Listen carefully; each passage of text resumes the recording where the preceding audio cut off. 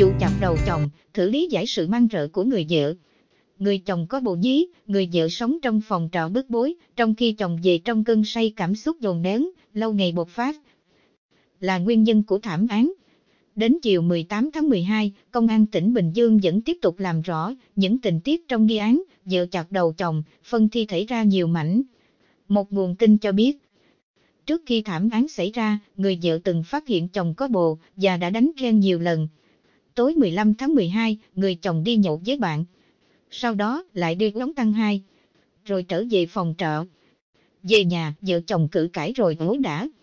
Trong lúc giằng co, người vợ đã dùng dao chém chồng tử vong. Sau đó, người vợ phân xác chồng ra làm nhiều mảnh, cho vào túi ni lông và ba lô, rồi chở các mảnh thi thể đến các điểm tập kết rác. Trong phường Thuận Giao, để phi tang. Theo thạc sĩ tâm lý Nguyễn Ngọc Duy, phụ nữ sống thiên về cảm xúc.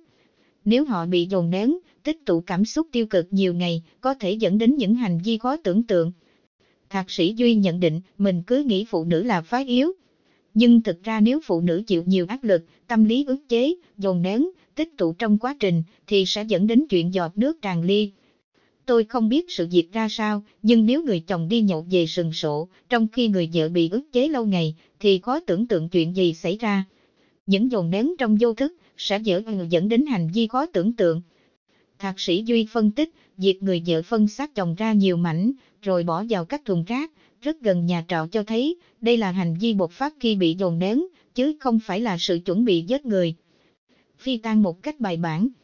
Chung sống hơn 10 năm, có hai con chung, người vợ hiện là nghi phạm, chặt xác chồng ra nhiều mảnh. Như báo đã thông tin, trưa 18 tháng 12, Công an tỉnh Bình Dương chính thức thông tin về vụ chặt đầu người. Bỏ vào thùng rác được phát hiện ở tỉnh.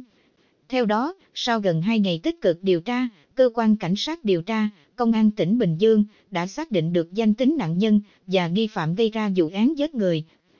Xảy ra vào rạng sáng 16 tháng 12 tại khu phố Bình Thuận 2, phường Thuận Giao, thị xã Thuận An, tỉnh Bình Dương. Theo kết quả điều tra ban đầu của cơ quan cảnh sát điều tra, công an tỉnh Bình Dương, nạn nhân là anh Trần Thanh Tú, sinh năm 1980, quê Sóc Trăng hiện tạm trú tại đường Thuận Giao 5, khu phố Bình Thuận 1, phường Thuận Giao. Nghi phạm là Hoàng Thị Hồng Diễm, sinh năm 1985, quê Hậu Giang. Vợ của nạn nhân, Hoàng Thị Hồng Diễm khai nhận, vào đêm 15 tháng 12, sau khi chồng đi nhậu về, thì cả hai xảy ra mâu thuẫn, dẫn đến ẩu đả. Trong lúc giằng co, Diễm đã dùng dao chém anh Tú tử vong.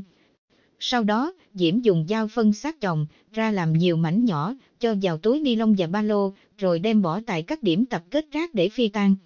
Hiện cơ quan cảnh sát điều tra công an tỉnh Bình Dương đang tích cực tìm kiếm các phần thi thể còn lại của anh Tú, thu thập tài liệu, chứng cứ để xử lý vụ án theo pháp luật. Sau đó, khoảng hơn 22 giờ ngày 17 tháng 12, người dân ngửi thấy mùi thối. Bốc lên từ thùng rác ở hẻm Thuận Giao 5, phường Thuận Giao. Khi kiểm tra, người dân tá quả vì trong thùng rác có nhiều bọc ni lông, có thi thể người thiếu phần đầu. Trong hẻm này có phòng trọ của vợ chồng Diễm. Anh trai đất xỉu khi nhận ra em bị sát hại từ hình ảnh đầu người trên mạng xã hội. Khi xem hình ảnh đầu người trong thùng rác xuất hiện trên mạng xã hội, người anh đã nhận ra ngay đó là em trai ruột. Nên bắt xe từ Sóc Trăng lên tỉnh Bình Dương trình báo công an. Như báo đã đưa tin, ngày 18 tháng 12, liên quan đến vụ phát hiện đầu người trong túi rác ở Bình Dương, Công an tỉnh Bình Dương cho biết. Nghi phạm của vụ việc chính là người vợ, là Hoàng Thị Hồng Diễm, 32 tuổi, ngụ tỉnh Hậu Giang. Bước đầu, tại cơ quan công an, Diễm khai nhận hành vi phạm tội của mình. Nguyên nhân được xác định là do mâu thuẫn tình cảm, Sáng cùng ngày, Công an tỉnh Bình Dương phối hợp cùng các đơn vị nghiệp vụ tổ chức khám nghiệm hiện trường tại nhà nạn nhân. Sau khi tổ chức khám xét phòng trọ và lục tung nhiều bãi rác theo lời khai của Diễm, cơ quan công an thu giữ được con dao to bản nghi hung khí của vụ án. Ở các bãi rác và thùng rác, ở phường Thuận Giao, lực lượng chức năng thu được nhiều túi ni lông chứa các bộ phận còn lại của cơ thể nạn nhân. Đến 11 giờ cùng ngày, việc khám nghiệm nhà trọ, tìm các bộ phận thi thể vẫn đang diễn ra. Hàng trăm người dân tập trung theo dõi, công an điều tra tại hiện trường. Có mặt ở hiện trường, anh trai của nạn nhân, tên Lâm Văn Tâm với vẻ mặt bần thần. Theo người này, ông nhận ra em trai qua hình ảnh đầu người nằm gần bãi rác. Trao đổi với phóng viên, ông Tâm kể, chiều 17 tháng 12, con gái tôi lên mạng xã hội thì thấy hình ảnh đầu người có nét giống Tú, nên nghi ngờ. Sau đó tôi xem kỹ thì thấy đó là khuôn mặt của em trai, nên bắt xe từ Sóc Trăng lên Bình Dương. Khi đến Bình Dương, ông Tâm đã tìm gặp công an và trình báo vụ việc. Lúc này, ông Tâm và những người trong gia đình được công an đưa vào nhận dạng. Khi trực tiếp nhìn vào nạn nhân, những người trong gia đình ông quảng hốt và ngã quỵ. Người đàn ông này cho biết thêm, cha mẹ sinh được ba người con, Tú là con út. Do hoàn cảnh gia đình khó khăn, hơn 10 năm trước, anh Tú lên Bình Dương làm công nhân, rồi kết hôn với Diễm. Hai vợ chồng Tú sinh được hai con, gửi về quê nhà cho người thân chăm sóc. Mỗi năm, hai vợ chồng chỉ về quê vào dịp Tết.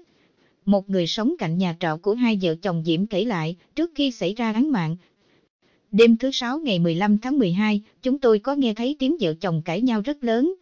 Một lúc sau thì không nghe thấy gì nữa. Ngay hôm sau thì thấy cô vợ ở nhà không đi làm, sau đó khóa cửa đi đâu không rõ. Một người dân khác, sống ở dãy trọ nơi vợ chồng anh Tú cư ngụ cho biết, nạn nhân có tính cách hiền lành. Cách đây vài ngày không thấy anh Tú, mọi người hỏi thì vợ anh này nói chồng về quê. Khi phát hiện cái đầu người bỏ trong ba lô, Diễm còn bàn tán với chúng tôi, nào ngờ công an xác định nó là hung thủ, bắt khuya hôm qua. Chúng tôi không tin đó là sự thật. Một người dân trong dãy trọ chưa hết bàng hoàng. Nói với phóng viên. Trước đó, lúc 12 giờ 30 ngày 16 tháng 12, công nhân Nguyễn Văn Tiến, 32 tuổi, đến thu gom rác tại đường Thuận Giao 9, phường Thuận Giao, thị xã Thuận An, Bình Dương, thì phát hiện ba lô còn mới ở thùng chứa rác người này tò mò mở ra xem, thì phát hiện bên trong chứa đầu người. Công an tỉnh Bình Dương, sau đó vào cuộc điều tra và xác định nạn nhân là nam giới, độ tuổi từ 30 đến 35, bị sát hại nửa ngày trước khi phát hiện. Trong ngày, Công an tỉnh Bình Dương cử cán bộ, chiến sĩ đến 5.000 phòng trọ ở địa bàn thị xã tìm lai lịch nạn nhân nhưng không có kết quả. Tối 17 tháng 12, Công an xác định nạn nhân là Lâm Văn Tú, 37 tuổi, quê Sóc Trăng, Nghi can sau đó được xác định là vợ nạn nhân Hoàng Thị Hồng Diễm, 32 tuổi, quê Hậu Giang. Ngân hàng đưa thừa 100 triệu đồng anh nông dân nghèo tức tốc mang trả lại. Làm hợp đồng với vốn 100 triệu đồng nhưng lại nhận được 200 triệu đồng, anh Hưng liền mang trả lại số tiền thừa cho ngân hàng. Chiều ngày 14 tháng 12, theo thông tin từ Ngân hàng Nông nghiệp và Phát triển Nông thôn, huyện Thanh Chương, Nghệ An, một người nông dân trên địa bàn vừa trả lại cho ngân hàng này 100 triệu đồng do chi sai. Theo đó, sáng ngày 14 tháng 12, anh Nguyễn Văn Hưng, 40 tuổi, trú ở xóm Xuân Trung, xã Thanh Xuân, huyện Thanh Chương, đến chi nhánh phú thuộc Ngân hàng Nông nghiệp và Phát triển Nông thôn huyện Thanh Chương, vay 100 triệu đồng để làm vốn chăn nuôi trâu bò. Lúc kế toán thủ quỹ giao tiền, anh Hưng nhận toàn bộ số tiền rồi bỏ vào cốp xe máy đi về. Lúc về đến nhà, mang tiền ra đếm thì phát hiện thừa 100 triệu đồng, nhưng anh Hưng liền quay lại trả cho ngân hàng. Ông Phan Đức Tuấn, nhân viên Ngân hàng Nông nghiệp và Phát triển Nông thôn huyện Thanh Chương, chi nhánh phú cho biết, sáng nay khi giao tiền cho anh Nguyễn Văn Hưng, kế toán thủ quỹ của ngân hàng đã chi thừa 100 triệu đồng, nhưng rất may sau đó anh Hưng đã đem trả lại số tiền này, việc làm của anh ấy thật đáng khâm phục. Được biết, gia đình anh Nguyễn Văn Hưng thuộc diện hộ nghèo, hiện vợ chồng anh đang chăm sóc cha già ốm yếu và năm người con đang đi học.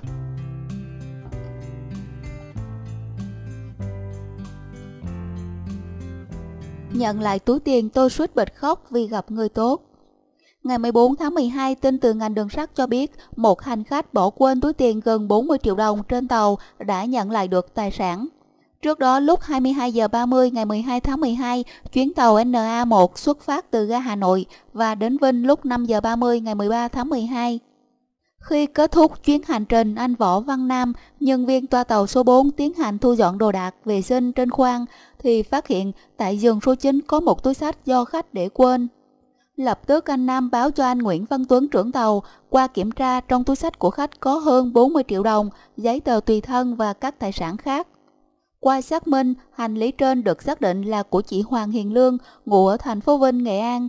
Cùng ngày, các cơ quan chức năng đã tiến hành các thủ tục hoàn trả số tài sản trên. Chị Hoàng Hiền Lương chia sẻ khi phát hiện túi tiền bị mất, chị đã hốt hoảng, lo lắng và gần như tin chắc số tiền kia sẽ không bao giờ lấy lại được. Tôi quay lại gặp trưởng tàu, mọi chuyện đã diễn ra không như hình dung, một cuộc đón tiếp chân tình đầy cảm thông chia sẻ. Trưởng tàu hơn tôi một tuổi, nhưng vẫn xưng hô đầy lịch sự, đây là công việc của bọn em. Nghe vậy tôi suýt bật khóc, không nghĩ rằng xung quanh mình quá nhiều người tốt đến vậy. Cầm chiếc túi sách trên tay còn nguyên vẹn đầy đủ mọi thứ, tôi muốn cảm ơn tổ công tác một ít, nhưng họ chỉ cười và từ chối như một lẽ bình thường, tôi ngưỡng mộ biết ơn. Trong khi đó anh Nguyễn Anh Tuấn cho biết đây không phải là lần đầu tiên nhân viên tàu nhặt được túi sách do người đi tàu để quên. Những lần nhặt được của rơi, đơn vị đều tìm người đánh mất để trả lại. Đây là công việc của chúng tôi, anh Tuấn nói.